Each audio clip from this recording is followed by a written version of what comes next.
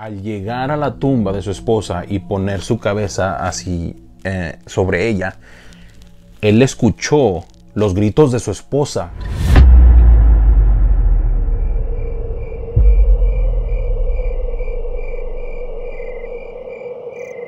En agosto de 2015, una muchacha se despierta de repente a medianoche.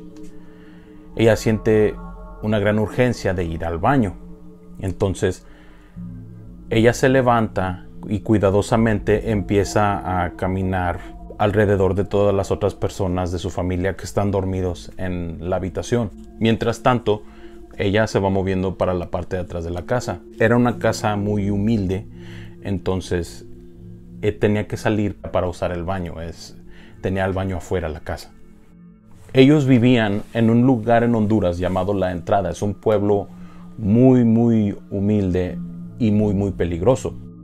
A pesar de sus circunstancias financieras, ella era una persona muy positiva, muy contenta y estaba específicamente contenta porque acababa de contraer matrimonio con el amor de su vida. Él se llama Rudy. Rudy y Nancy estaban muy contentos esperando la llegada de su primer bebé, que le faltaban básicamente meses para nacer. Pero bueno, regresando a la historia, Nancy llega a la parte de atrás de la casa, abre la puerta y sale a lo caliente, al calor de la madrugada y entonces ella empieza a caminar hacia el baño, pero nunca llegó al baño. La mañana siguiente, la primera persona que se despertó fue la mamá de Nancy. Ella se llama María. Entonces María se levantó. Ella, al pasar por la puerta de atrás de la casa, alcanza a notar que afuera está Nancy tirada en el suelo. María, asustada y, y desesperada, corre a donde su hija, la voltea boca arriba la inspecciona para ver si no está lastimada o algo y luego la trata de despertar, pero Nancy no responde y está lanzando espuma por la boca. En ese pueblo, desafortunadamente, no tienen buenos hospitales o clínicas o muy buena medicina, entonces lo primero que se le ocurre hacer a la mamá de María es mandar llamar a un padre, a un sacerdote, en vez de mandarla al hospital, porque ellos al instante lo que pensaron fue que quizá Nancy estaba siendo poseída por un demonio. Y sí, en efecto, trajeron al sacerdote a su casa. Entonces el sacerdote llegó, hizo el exorcismo, pero al ver que ella no despertaba, no respondía, la mamá entonces decidió que la llevarían a un hospital local. Cuando llegaron al hospital, ya era demasiado tarde. Les dijeron que Nancy había fallecido. Queriendo saber qué fue lo que sucedió, los familiares de María le preguntaron a los doctores los doctores estaban muy confundidos y les dijeron que no sabían exactamente qué fue lo que le había pasado a Nancy. Entonces María y la familia, con todo el dolor en su corazón por el repentino fallecimiento de Nancy, la llevaron de nuevo a su, a su hogar. Ahí le hicieron un, velorio y después de ahí la llevaron a un cementerio donde hicieron su funeral. A la mañana siguiente, su esposo cargando con esta gran pérdida de no tan solo su esposa, sino de su futuro hijo o hija. No puede dormir muy bien, entonces él se levanta temprano y va al cementerio ah, porque él necesita estar cerca de su esposa.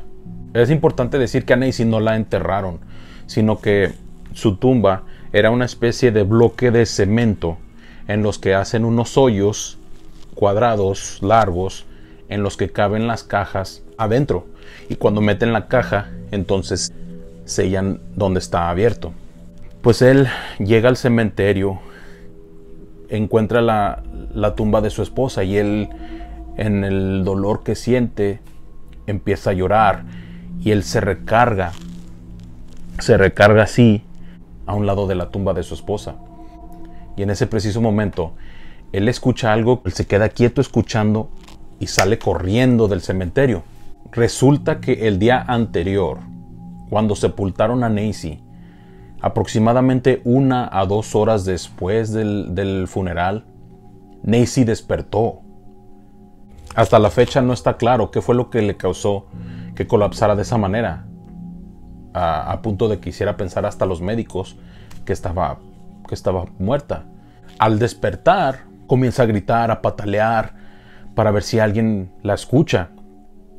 En algún punto creo que hasta pudo meter los brazos, de tenerlos abajo así, pudo de alguna manera moverlos para arriba hacia donde estaba su cara y ella comenzó a dar golpes al vidrio de que tenía por encima la caja, quebrándolo y de esa forma causándose hasta cortadas en la cara y en, sus ojos. Hay dos teorías en cuanto a lo que posiblemente le, le sucedió a Nancy, porque fue que, que colapsó esa noche.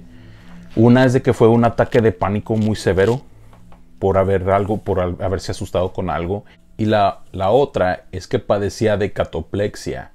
Catoplexia viene siendo un desorden muscular en la que pierdes básicamente eh, todo movimiento, ah, todo el control sobre tus músculos. Suele ser común en personas que padecen emociones muy fuertes o muy nerviosas. Eh, un ejemplo leve sería que alguien al recibir una muy mala noticia sus piernas se doblen o algo así. Y en casos muy extremos, muy severos, ah, es total parálisis, como por ejemplo lo que le sucedió a Nancy. Pero de cualquier forma, los doctores se equivocaron. Nancy cuando llegó al hospital no estaba muerta.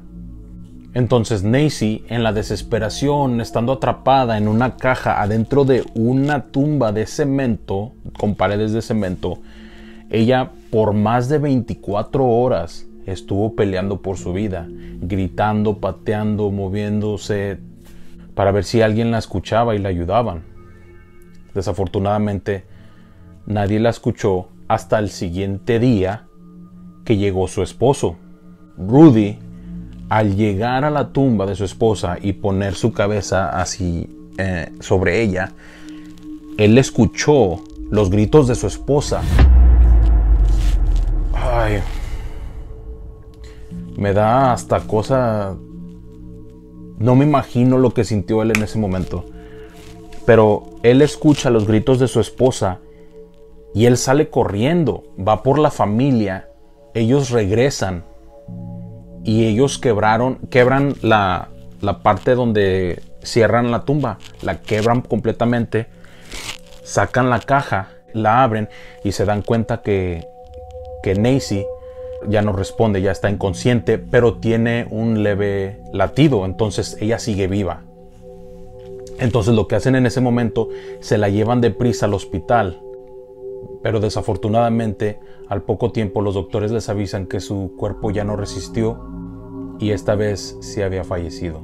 Pero esta vez fue por falta de oxígeno, se le acabó el aire y no pudieron rescatarla a tiempo. Y bueno mis amigos, esa es la historia de hoy. Entonces si te gusta este tipo de contenido, por favor dale like al video, compártelo con tus amigos, suscríbete al canal y por favor prende todas las notificaciones para que no te pierdas ningún episodio de ahora en adelante. Cuídense y hasta la próxima.